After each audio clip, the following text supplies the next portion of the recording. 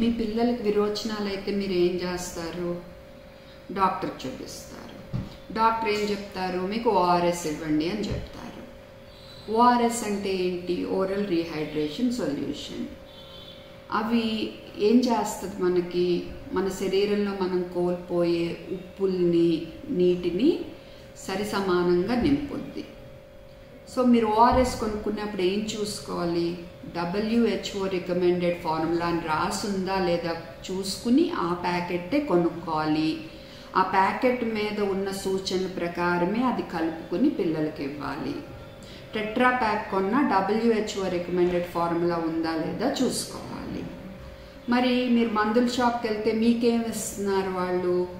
ORS L అని rebalance vit ORS అని ORS fit అని ఫ్రూట్ జ్యూస్లు ఇస్తున్నారు మీరు కొంచెం కిందకి వెళ్ళి చూడండి this is not an ORS ready to drink fruit juice ఇలా రాసి ఉంటుంది మీరేమో తెలియక ఇవి పిల్లలకి ఇస్తున్నారు ఇందులో చక్కెర శాతము చాలా ఎక్కువ ఉంటుంది.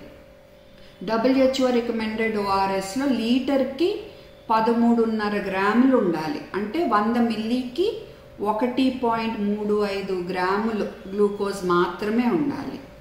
వీటిల్లో కొన్నాటిల్లో అరవై ఎనిమిది గ్రాములు లీటర్కి.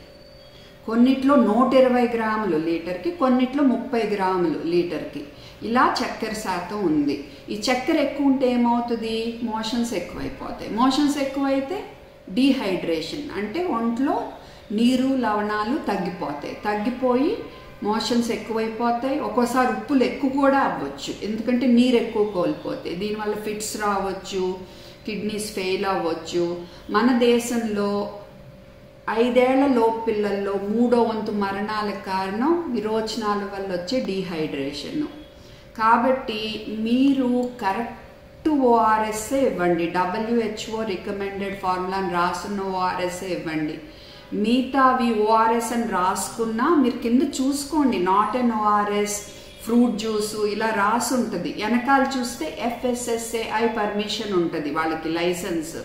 అది మన్ మందులు కం సిడిఎస్సి వాళ్ళు ఇచ్చింది కాదు. నిజమైన ఓఆర్ఎస్ డబ్ల్యూహెచ్ఓ రికమెండెడ్ ఓఆర్ఎస్ వెనకాల ఎఫ్ఎస్ఎస్ఏఐ పర్మిషన్ ఉండదు. జస్ట్ లైసెన్స్ నెంబర్ అని రాసి ఉంటుంది. అంతే. మీరు డబ్ల్యూహెచ్ఓ రికమెండెడ్ ఫార్ములా ఓఆర్ఎస్లు మాత్రమే పిల్లలకి ఇవ్వండి.